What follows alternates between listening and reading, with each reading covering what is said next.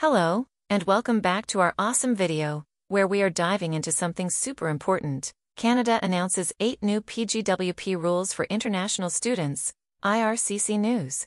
Canada's Immigration, Refugees and Citizenship Canada, IRCC, is introducing eight new changes to the Post-Graduation Work Permit, PGWP, program. These updates aim to improve the transition from study to work for international students enhancing their overall experience and opportunities in Canada. Throughout this video, we will break down each of these changes comprehensively. Whether you're a current international student or simply intrigued by immigration policies, stay tuned till the very end to grasp all the essential details.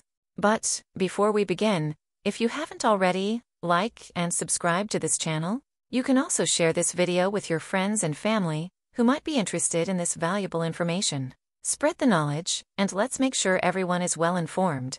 Here's the lowdown Canada unveils eight new PGWP rules for international students. The changes will create a clearer pathway for students to transition from temporary to permanent residency in Canada. Students who cannot meet the new language requirements may need to improve their language skills to qualify for a PGWP. Today, we're diving into the significant updates announced by the Immigration, Refugees, and Citizenship Canada, IRCC, that are set to reshape the opportunities for international students looking to build their careers in Canada. For those keenly interested in the evolving landscape of Canada's post-graduation work permit, PGWP, program, this detailed overview is essential to watch. Let's explore the latest updates and their potential impact on international students aiming to study in Canada. Exploring the benefits of the new PGWP changes. Let's begin by understanding the profound benefits these changes aim to bring. Canada's new approach focuses on better aligning the skills of international graduates with the needs of its labor market. By connecting study programs more closely with occupations facing shortages, the government intends to enhance job matching. This strategic shift not only boosts graduates' chances of securing meaningful employment, but also strengthens Canada's economic competitiveness on a global scale. Language proficiency has been identified as another critical area of improvement. The proposed changes will introduce stringent language requirements for PGWP eligibility.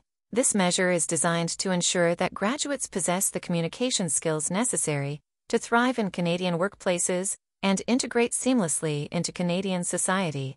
Moreover, by requiring proof of a job offer in a high-demand occupation to extend the PGWP, Canada aims to encourage graduates to contribute directly to sectors where their skills are most needed. This not only enhances their professional growth, but also bolsters the Canadian economy by filling crucial labor gaps. A detailed look at the eight new changes. Now, let's delve into each of the eight changes introduced by IRCC. 1. Eligibility based on occupations in demand. IRCC is considering making PGWP eligibility based on occupations that are in high demand. This means students will need to complete study programs that are aligned with these occupations to qualify for a PGWP. The goal is to ensure that graduates have the skills needed for jobs that are currently facing shortages. 2. New language requirements. New language requirements are being proposed for PGWP eligibility. Students may need to demonstrate a certain level of proficiency in English or French to qualify. This change aims to ensure that graduates can effectively communicate in the workplace and integrate into Canadian society. 3. Proof of job offer for extended PGWP. Students may need to show proof of a job offer in an occupation that is in demand to extend their PGWP beyond one year.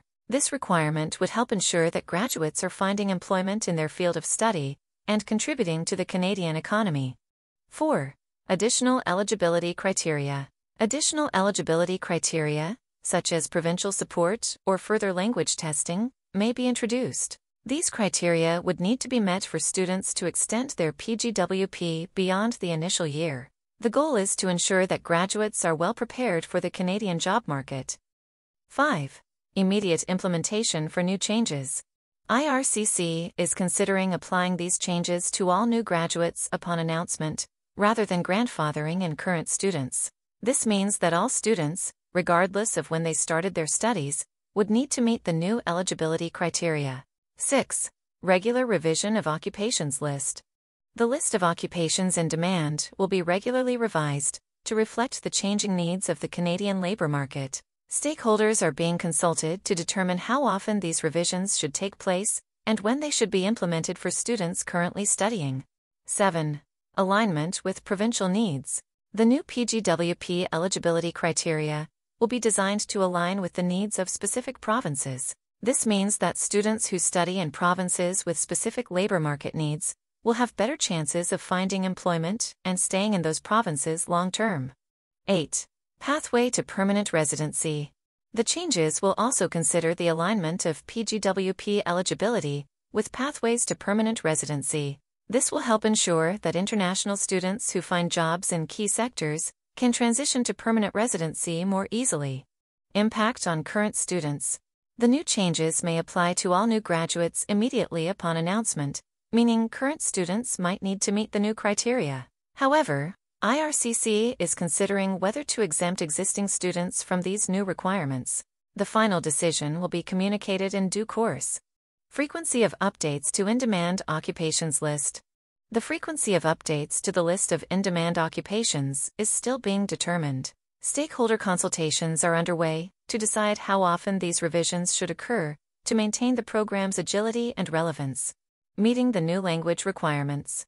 Students who cannot initially meet the new language requirements may need to improve their language skills to qualify for a PGWP. This could involve taking additional language courses or tests to ensure they meet the necessary proficiency requirements.